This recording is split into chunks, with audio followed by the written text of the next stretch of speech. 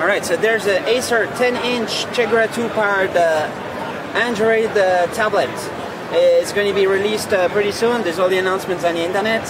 It might support Honeycomb, of course, uh, eventually. Uh, has uh, well, has a USB host, a full-size USB host, a USB slave, I guess, a small one to connect to a computer. It has a camera right here. Uh, what is that?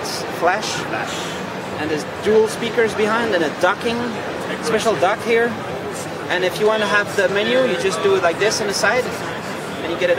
Make you take it. Oh, it goes away automatically after a while, and then you can uh, go back to Angry Birds.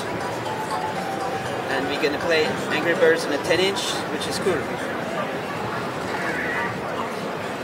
And then we can exit, or like there, right? So the viewing angles are pretty good, I guess.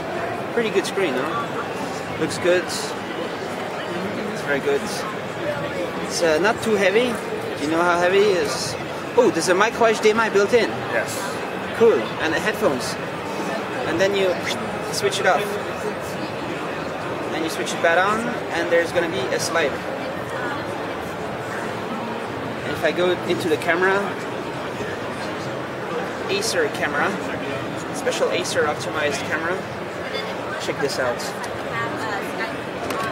Huge 10 inch camera. It's really uh, fun. You can walk around and Be careful. yeah, I keep be careful. Yeah, yeah, and you know where you're going. All right. Then I exit over here. Cool. Thanks.